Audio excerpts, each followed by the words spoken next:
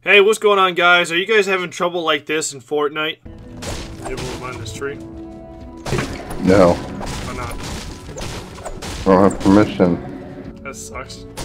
All you have to do is follow my simple guide, and I will solve this simple issue for you. And your friend will be able to build whatever he wants and destroy whatever he wants in your Storm Shield. So when you first spawn in, go ahead and head over to your Storm Shield console. Go ahead and hold E or whatever button is for you.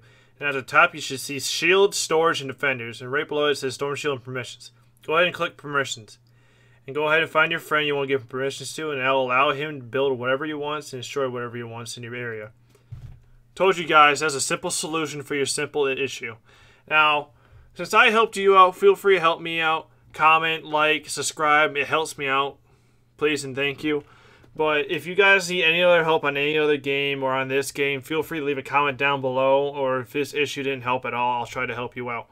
But anyway, thanks for watching. Tune in next time for the next video I decide to produce. And I'll see you in the next one. Peace.